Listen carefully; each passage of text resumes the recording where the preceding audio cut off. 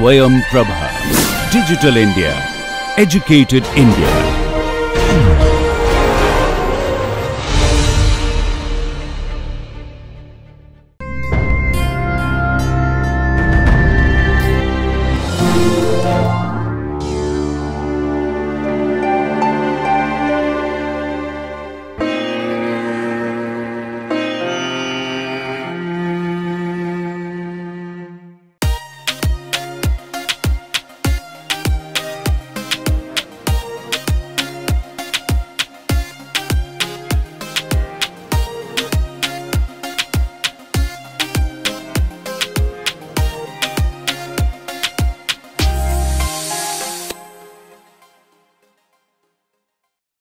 Welcome back to Python tutorial 3.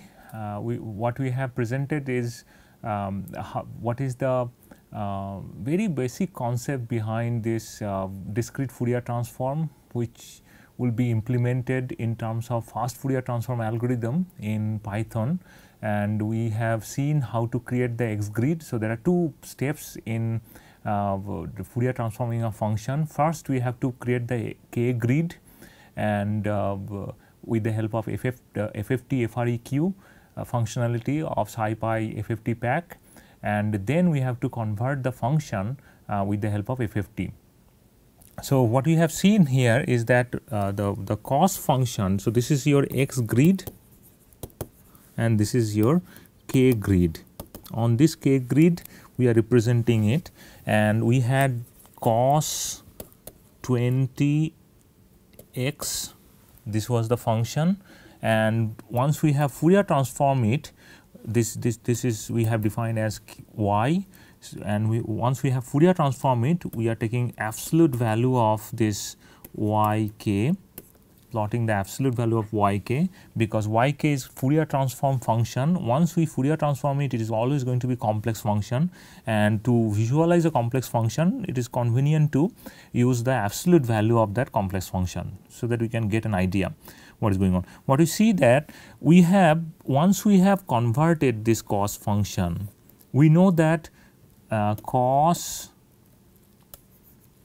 cos omega naught t when in the time domain we are very much familiar with it. This is the frequency. And frequency is related to the Fourier domain. So, similarly on the uh, x axis this is the spatial related to spatial frequency 20 and that 20 is now showing up here. This k naught value this is this is actually cos k naught x. And the spatial frequency is defined by this k naught. So, this k naught value is not now showing up. So, we have single frequency uh, 20, but it has it is showing up in the negative regime also. This negative and positive part is just the consequence of the Fourier transform. It has nothing to do with the practical reality. So, in the practical purpose we can only take note down this positive part of the frequency and we can take a look at it the frequency components we are getting only k naught. That should be because cos function is oscillating over the space cos function are oscillating with the spatial frequency 20 and that is showing up after the Fourier transform. We have only one frequency component which is 20 on the x grid. Um, so this is uh, this, this, is the meaning of the Fourier transform of, of, of this of this function. We will move on and we will check what is going on with the Gaussian function and we know that Fourier transform of a Gaussian is another Gaussian. So, if I have a Gaussian function in the x domain then in the k domain I will get another Gaussian function. Okay. But then question is at what point the Gaussian function will be uh, centered that depends on uh, okay, so the, this, this is not a simple Gaussian function, it is actually um, a, tra a, traveling Gaussian function. So, it has it, it, it is a Gaussian pulse let us say. So, it, it does not look like this, this, this x e to the power minus x square cos 20 x, this is the fast uh, Uh, moving component. So, this is more like a Gaussian wave packet.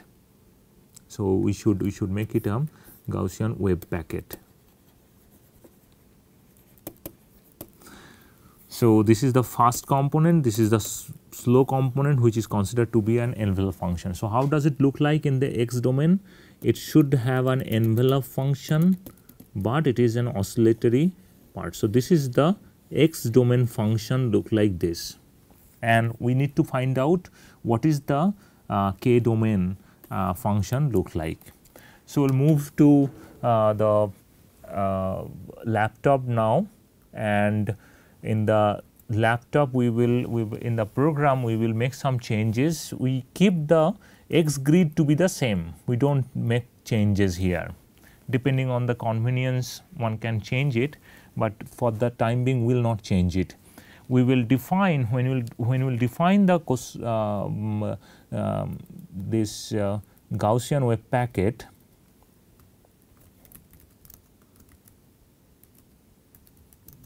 on the x grid we have to multiply it by exponential function. And this exponential function is going to be x x square that is the function. Now, exponential function is not again available with built-in library in Python. So, we have to import it again from the uh, SciPy and then the k grid uh, formation is remains to be the same it does not have any change then uh, the Fourier transform of the functions remains to be the same and plotting part is remains to the same. But before we plot that we will try to plot um, the function itself first to find out what kind of functions we are considering here. So, plot x versus y and the limit we have to select I will check whether this limit will work or not. So, let us run the program. If we run the program, we see that there is a pulse localized. It is not a pulse, it is a wave packet which is localized but the limit which we are selecting minus 30 to plus 30 it is not convenient to look at the inspect that wave packet very clearly. So, we will set the limit to be minus 5 to plus 5 minus 5 to plus 5.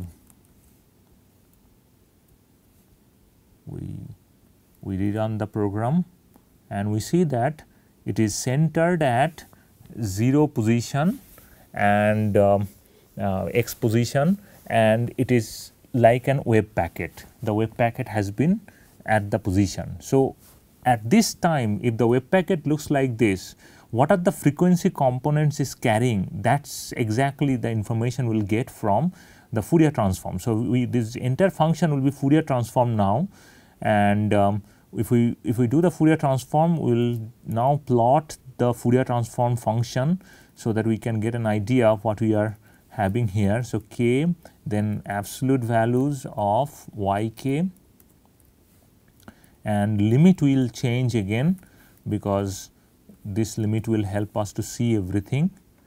What we see is that if we run the program we see that uh, again there are negative and positive part of the uh, spectrum.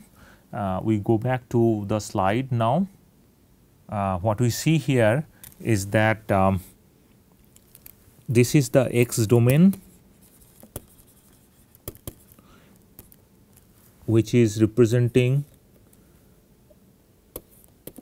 an wave packet this is the Gaussian envelope this is the Gaussian envelope and the fast varying component is cos 20x.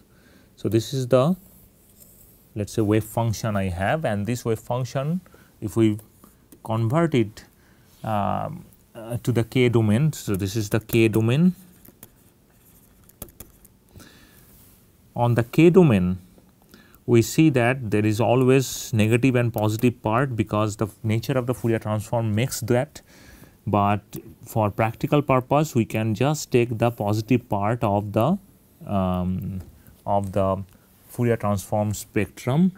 What we see is that the center it is centered at 20 and that should be because we know that from the wave packet discussion of the wave packet is that if I have an wave packet represent wave Gaussian wave packet represented by e to the minus x square cos omega naught t uh, sorry uh, k naught x it means that this uh, cent, uh, the, the average uh, component average um, uh, the spatial frequency component is going to be k naught. So, the frequency components is distributed around this k naught. So, I have this k naught and then around this k naught all these frequency components the spatial frequency components are available. So, that is the way uh, we have understood the, uh, the Gaussian wave packet before and that is representing here.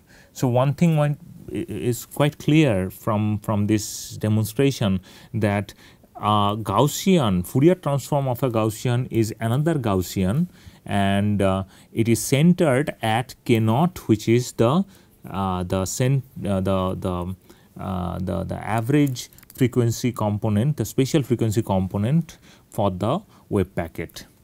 So, with this uh, we have come to the end of this um, uh, Python tutorial. What we have learned from this tutorial is that there are two simple functionalities already given in uh, SciPy, FF, uh, SciPy.fftpack submodule. Uh, one uh, functionality will help us get the uh, construct the k grid. Another functionality will help us uh, Fourier transform the discretized wave function from space domain to the uh, to the uh, Fourier domain. Uh, in in the FFT FREQ, I need an input. The input is the window length, which is the number of elements in the present in the x grid, and delta x is the spacing in the x grid and when you are doing Fourier transform of the function, the discretized function, this function name needs to be given. So, with this we will conclude this uh, tutorial. Uh, we will meet again uh, in the uh, next module and tutorial.